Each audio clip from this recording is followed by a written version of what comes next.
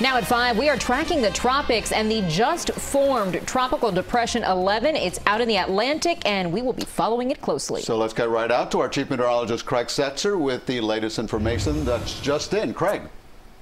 Yeah, this was a little uh, tropical wave we were watching the past couple of days. We knew we'd have to keep an eye on it because it was moving to the west, but the conditions were only marginally favorable, but it's been able to overcome that and reaching the classification now as Tropical Depression 11. Winds at 35 miles an hour, moving to the west at about 16, pretty good speed, uh, which we normally see down here in the deep tropics about 450 miles east of the Lesser Antilles there. Now here's the threat cone and it shows where the center is expected to be. That's the white outline and also where the tropical storm conditions are expected to be because it is forecast to become tropical storm Josephine. We're already to the J letter and this is the Friday time frame, Saturday time frame and Sunday time frame.